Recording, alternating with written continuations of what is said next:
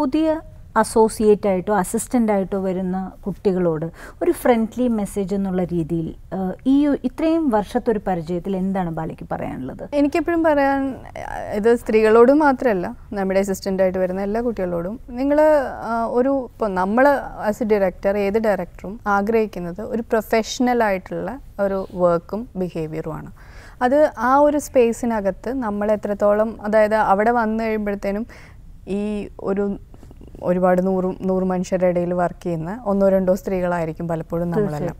അപ്പം അത് പല പല സ്ഥലത്തും ഇപ്പോഴല്ല മുമ്പൊക്കെ അത് ഭയങ്കര അത്ഭുതമായിരുന്നു. ഇപ്പം അത് കുറഞ്ഞു കുറഞ്ഞു വരുന്നുണ്ട്. പക്ഷെ എന്നാൽ പോലും ഒരു വർക്ക് കൾച്ചറിന്റെ ഭാഗമായിട്ട് അത് വളരെയധികം ആക്സെപ്റ്റഡ് ആയിട്ട് വർക്ക് ചെയ്യുന്ന സ്ഥലങ്ങൾ വളരെ കുറവേ ഉള്ളൂ. അപ്പോൾ അങ്ങനെ വരുമ്പോഴത്തേനും പലതരത്തിലുള്ള ഈഗോ ഇഷ്യൂസും ഒക്കെ എപ്പോഴും നമ്മൾ അവർ നമ്മളോട് വന്ന് സീനിയർ എന്നുള്ള നിലയിൽ പലപ്പോഴും വന്ന് സംസാരിക്കാറും നമ്മൾ അവരോട് സംസാരിക്കാറും ഒക്കെ ഉണ്ട്. പിന്നെ അതുപോലെ തന്നെ വളരെ അപൂർവമായിട്ട് ചില അബ്യൂസിന്റെ കാര്യങ്ങളും ഒക്കെ വരാറുണ്ട്. അപ്പം ഇങ്ങനെയുള്ള സന്ദർഭങ്ങളിൽ നമുക്ക് കൃത്യമായി ഒരു പ്രൊഫഷണലായിട്ട് ആ സ്പേസിൽ വന്ന് വർക്ക് ചെയ്ത് പോകാനുള്ള ഒരു മാനസികാവസ്ഥയിലേക്ക് നമ്മൾ വരണം എന്നിട്ടുള്ളതാണ് എനിക്ക് തോന്നിയിട്ടുള്ളത്. കാരണം ജോലി എന്ന് പറയുന്ന സമയത്ത് ഫസ്റ്റ് ഇമ്പോർട്ടൻസ് ആ വർക്കിന് തന്നെയാണ് നമ്മൾ കൊടുക്കുക. ഞാനൊക്കെ ഞാൻ ഡയറക്ടർ ആകുമ്പോഴും ഞാൻ അസോസിയേറ്റ് ആകുമ്പോഴും നമ്മുടെ കൂടെ വർക്ക് ചെയ്യുന്നവരും അങ്ങനെ ചെയ്യണം എന്നുള്ളതാണ്. അങ്ങനെ വരുമ്പോൾ തന്നെ മെല്ലെ മെല്ലെ മെല്ലെ നമ്മൾ ആക്സെപ്റ്റഡ് ആവും. ആ ഒരു സ്പേസിൽ അപ്പം ആ ഒരു സാധനം മറന്നുകൊണ്ട് നിങ്ങൾ ബാക്കി എന്ത് ചെയ്തു കഴിഞ്ഞാലും പിന്നെ അത് വളരെയധികം ഓരോരുത്തർക്കും അത് പ്രശ്നങ്ങളിലേക്ക് വരും. കാരണം വെച്ചാൽ പിന്നെ ഈ പേഴ്സണൽ പേഴ്സണൽ ആയിട്ടുള്ള കാര്യങ്ങൾ കൂടുതൽ വരുമ്പം എല്ലാവരും എന്നെ പറയും ഓ ജോലിയൊന്നും എടുക്കുന്നില്ല മര്യാദയ്ക്ക്. അവരങ്ങനെയാണ് ഇങ്ങനെയാണ്. കാരണം ഇത് കൂടുതലായിട്ട് ഒരു ആണുങ്ങൾക്ക് വേണ്ടി ഒരു സെറ്റ് ചെയ്തിരിക്കുന്ന.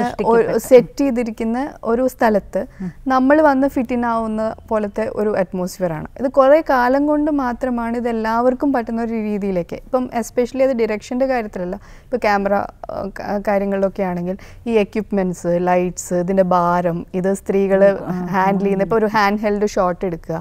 അല്ലെങ്കിൽ അങ്ങനത്തെ കാര്യങ്ങളിലേക്ക് നമ്മൾ വളരെയധികം ലെങ്ത് ഉള്ള ഇങ്ങനെയുള്ള ഒരു സാധനങ്ങളിലേക്ക് പലപ്പോഴും ഇത് ക്യാമറ എടുത്തിട്ട് നമ്മൾ അത്രയും ദൂരം പുറകോട്ട് നടക്കുക. അപ്പോൾ ഇങ്ങനെയുള്ള കുറേ കാര്യങ്ങൾ വരുമ്പോഴത്തേനും ഇതിന്റെ ഭാരം അത് നമ്മൾ ഹാൻഡിൽ ചെയ്യുന്ന രീതി അതിൽ അതിൽ നമുക്ക് ആ ഒരു ജോലി ചെയ്യുമ്പം നമുക്ക് കിട്ടുന്ന ഒരു ടീമിന്റെ ഹെൽപ്പ് ഇത്തരം കുറേ കാര്യങ്ങളിലേക്ക് നമ്മൾ എത്താനുണ്ട്.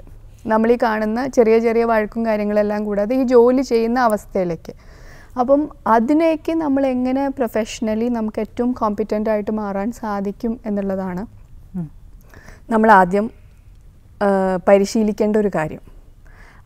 അത് തന്നെ നമുക്ക് കുറച്ചൊരു സമയം എടുക്കും ഇപ്പം ഡയറക്ടർ ആണെങ്കിൽ തന്നെ നമ്മൾ ഇപ്പം എനിക്കൊക്കെ ആദ്യം വളരെയധികം അസിസ്റ്റന്റ് ഡയറക്ടറൊക്കെ ആയിരുന്നപ്പോൾ ഉണ്ടായിരുന്ന ഒരു ബുദ്ധിമുട്ട് വെച്ചാൽ രാവിലെ ആറ് മണി തൊട്ട് രാത്രി പത്ത് മണി വരെ നിന്നുകൊണ്ട് തന്നെ ഓടി നടന്ന് വർക്ക് ചെയ്തുള്ള ഈ ചൂടത്തും വെയിലത്തും പല സ്ഥലങ്ങളിലും ഒക്കെ ചെയ്ത് ചെയ്യാനുള്ള ഒരു സ്റ്റാമിന ഉണ്ടാവുക. ഇതൊക്കെ എന്നെ സംബന്ധിച്ചിടത്തോളം ആദ്യമൊക്കെ കുറേ ബുദ്ധിമുട്ടായിരുന്നു. പിന്നീടാണ് നമ്മൾ അതിലേക്ക് എത്തുന്നത്. പിന്നെ സ്ട്രെസ് മാനേജ് ചെയ്ത് വർക്ക് ചെയ്യാനുള്ള ഒരു ഒരു എബിലിറ്റി നമുക്ക് വരിക.